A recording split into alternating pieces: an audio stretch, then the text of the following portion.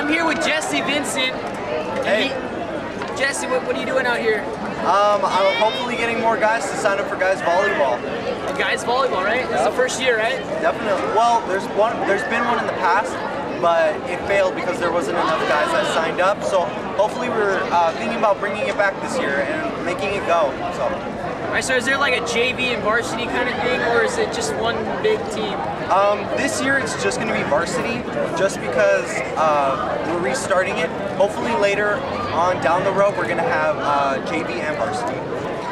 All right, so like, what, what's for people that are interested? What's gonna you're gonna uh, your schedule gonna be like? So practice and games and all that. Okay. Well, we haven't really worked out uh, practices yet, and for games, we're hoping to get um, accepted into a private school or San Francisco School League.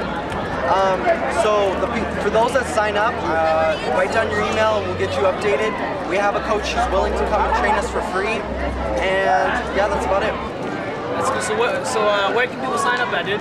They can sign up at uh, the table. It's going to be in the front of the uh, stage in the courtyard all, the whole week. All right, cool. Thanks, Jesse. Uh, good luck, guys.